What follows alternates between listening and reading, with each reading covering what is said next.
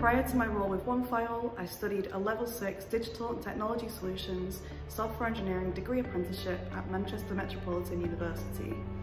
I actually started my career as a software engineer and did that for three years before learning about user experience design within the final year of my apprenticeship.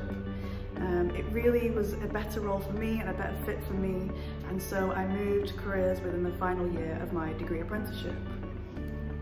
Also as an apprentice, I started taking on a lot of voluntary roles within the apprentice space. I started out as an apprentice ambassador, working both with the Greater Manchester Learning Provider Network and with the Apprentice Ambassador Network as well.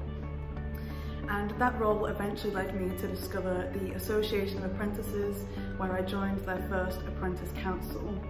I love working with AOA because they work to enrich and improve the apprentice experience for future apprentices. After I graduated my degree apprenticeship, I was ready for something new um, and I saw OneFile had a job role open.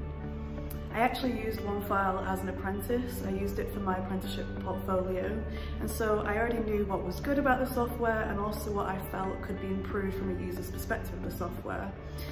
And I could use what I'd learned in my apprenticeship to help within this new job role.